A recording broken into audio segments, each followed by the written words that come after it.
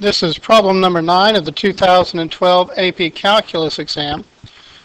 Let f be the function defined above. For what values of k is f continuous at x equals 2?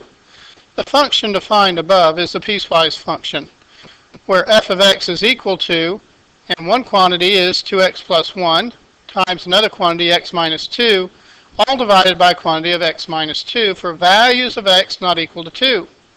Second part of the piecewise function is k, when x is equal to 2. Well, when we look at that first part, and let's go ahead and write it, we have 2x plus 1 times x minus 2 divided by x minus 2. And the very first things, thing we think of is x cannot equal 2, or I'd get 0 in the denominator. But I also see that I have x minus 2's that are able to cancel. And so immediately I'm thinking, I've got a hole in the graph at x equals 2. So what's left is this 2x plus 1. So we've got our function f of x is equal to 2x plus 1 at the points everywhere except where x is equal to 2.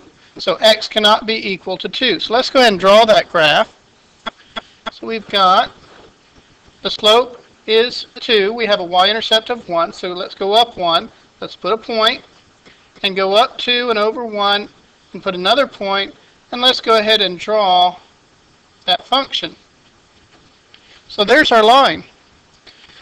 But we said we had a hole at x equals 2. The function for that part did not exist because we were dividing by 0 at x equals 2. So at 2, that was 1, at 2, if I go up, I'm going to end up putting a hole in the graph. So I'm going to have, the graph is going to be continuous up until the point where I get to 2, and after 2, but it's not going to be continuous at 2. Well, that's part of the problem. They're trying to find out, okay, for what value of k would this function be continuous at x equals 2? What value would that have to be?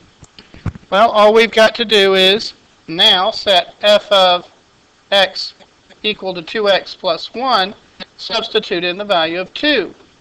And that would give us 2 times 2 plus 1, which would be equal to 5.